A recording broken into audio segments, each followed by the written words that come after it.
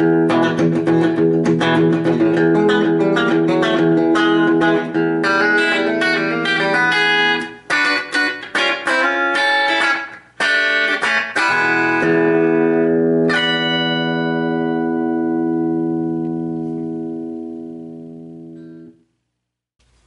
back friends, Mark Peotter here and today we're going to do a DIY replacement of the volume and the tone knobs on my Telecaster.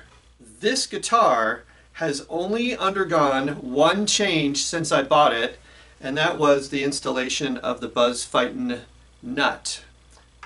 Excellent uh, tuning. I made a video about that nut and how nice the intonation is on this instrument. But pretty much ever since I've had this guitar, I've never really been happy with the original potentiometers. Uh, they're what they call linear pots, and uh, let's explain that right now. When you get your instrument from the factory, it comes with something called linear potentiometers.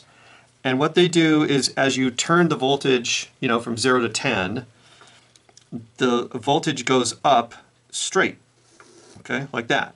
But the problem is that the ear perceives the increase of volume this way. As you're listening to it, you're thinking, wow, I'm not getting hardly anything going on. And then suddenly you hear this big boost. Okay? So most of us don't really hear much of an increase until we get somewhere around the 70%, you know, on our uh, volume knob. And that's the uh, problem. So with the audio pots, what they do differently is the voltage goes up in a backwards curve like this, okay, giving you a lot up front and then a little bit more at the end, but then the ear perceives it closer to a straight line. And so now you're thinking, ah, yeah, now I can hear and uh, perceive a difference. Volume knob here, okay, this is full when it's straight down like that. This is the tone knob.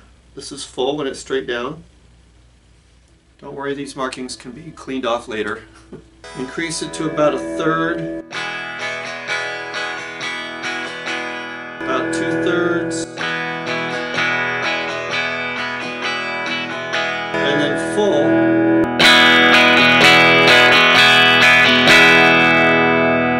you can see how most of the change occurs between two-thirds and full.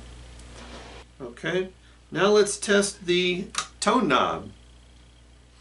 Okay, for the tone knob, I'm going to go ahead and keep this at about the two-thirds to three-quarters for the volume. Okay, this is full uh, tone, wide open full.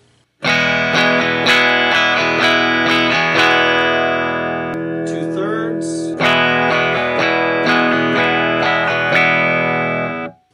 one-third, And then removed or bottom.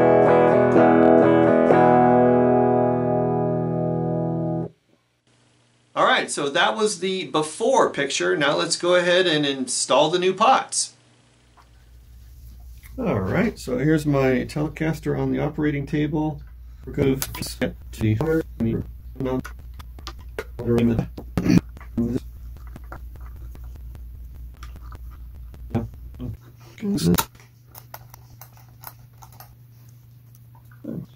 this is what we need right here.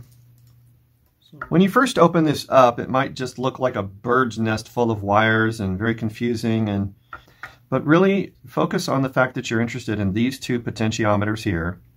And uh, I highly suggest that you want to draw a, a uh, diagram of what you got here. Okay, and when you really analyze it, it comes down to this. The casing is considered ground. Uh, so look at all the black wires. All of them lead to ground. Uh, one of them specifically goes right down here to a, a screw that's in the guitar body. So all electric guitars that I've encountered have this uh, screw into the body, and at least one of the ground wires connects to that. Uh, this is the capacitor that connects the volume and the tone together right here. That's your capacitor. Notice how it also has a lead over here to the body or the or the, the casing, uh, which leads to ground. And then you have this wire that connects the two together. Okay. and that same wire goes over to the three position switch. Okay. And then the other, there's only two wires left, and they are both from the input jack. The input jack, okay, one of them goes to the volume center, that's a white wire, and the black wire from the input jack goes to a casing. All right, so now it's time to take it all apart. One to hold the iron, one to hold the object, and the third one to remove the wire. Okay, this capacitor might be one wire straight through the whole thing. Let's find out. Yeah, it is. All right, good. Take this wire out. All right, so that's all the parts off. So if possible, what I like to do is I like to get these in the hole and I like to be able to turn the wire around like this and kind of press it together. So that way it feels like it's stuck in there. Even without the solder, I want it to be able to feel like it's steady. Then over on this hole, and do the same thing, except that this hole is going to receive two wires. And I don't know if they'll both fit. So let's find that out right now. Bend this one around. I'm going to thread in the second wire and see if it fits in the same hole. No. Yeah, actually, I think I, I think I got it. Okay. So let's turn that one around. So it's nice and tight. And turn this one. So it's also tight. Give it a little squeeze. Yeah, I think we got it.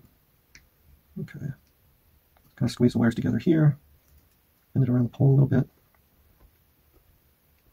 Okay. All right, so now I'm going to try to solder both of those at the same time. Like I said, this is uh, this is the kind of job where you wish you had three hands. Let's add some solder. Okay, I can see what's going to happen is that this one, that one needs some coaxing. So do it while it's hot. That way when it cools off, it'll be right where I want it.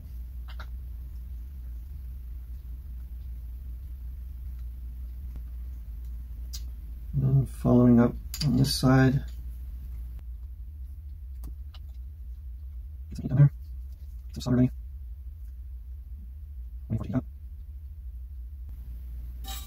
It flow.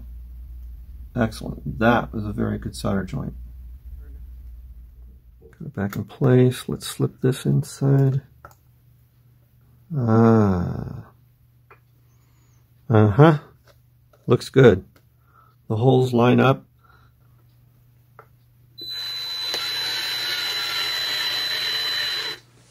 All right, well, here she is.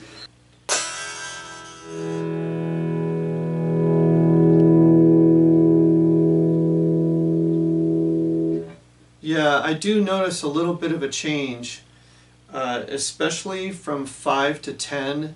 It feels like a more gradual push than it did before. Yeah, I notice a little difference on this tone as well. The main difference is that on the previous tone knob, the darkest part of the tone, if you will, seemed to only occur on that last tiny increment of turn, and now it's happening sooner than that.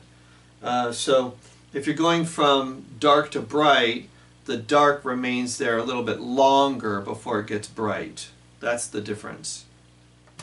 Back pickup at about one third volume level.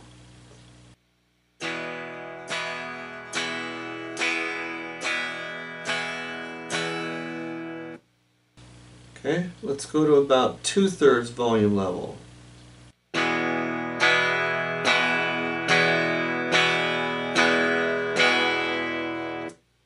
Okay, let's go to full volume level.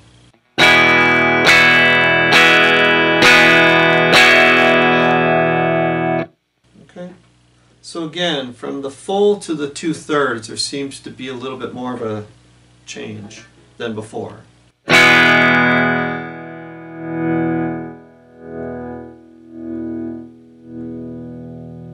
Yeah, I like it.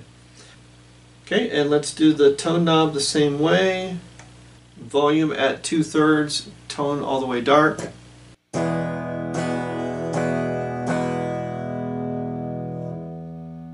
Tone at about one third.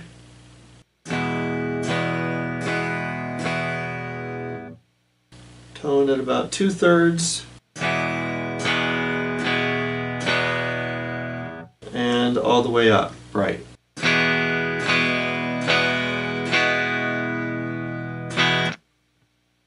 I happen to be the first owner of this guitar. I bought it back in 2005. It's an American Telly. And from the very first day I bought it, there's always been a little bit of this noise, just a little bit of that eh, in the amplifier, uh, even when it's clean. And um, I remember speaking to a Fender rep who said, hey, some of that sound is really the definitive tone of what the Fender Telly sounds like. Well, now that I've got the new pots in it, that little noise is gone. Um, I guess I'm going to count it as a good thing. Sorry, Fender. well, there you have it, friends. Uh, how to replace your potentiometers in your electric guitar. I hope this was helpful for you and informative, and I'll see you next time.